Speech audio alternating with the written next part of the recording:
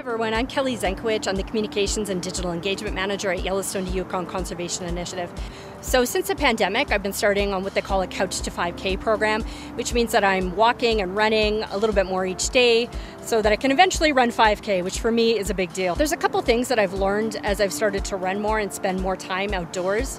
Um, and the first is that if you're living in bear country, it's really on you the responsibility to be bear aware. And so, one of the ways that I encourage you to become bear aware is to learn how to use bear spray and keep it handy um, no matter what kind of recreating you're doing. If you're running like me, or you're biking, even just hiking or going for a walk after dinner, uh, keep that bear spray accessible, know how to use it in case you have to and you come upon a bear.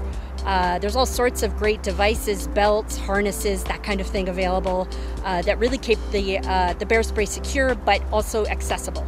And number two is that you can see right now I'm wearing headphones. I'm actually about to take them off because I'm heading down this path and I've seen quite a bit of bear scat down here recently. Um, and I just want to be aware and let the bears and other wildlife know that I'm coming.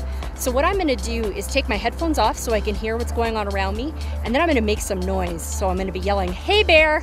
Um, and clapping pretty loudly as I go down the path to let wildlife who might be feeding, especially bears right now. We're heading into peak berry season. And those bears are going to spend up to 20 hours a day feeding. Their heads are going to be down. They might be taken surprise, especially if someone's running or on a bike, if you come up on them quickly.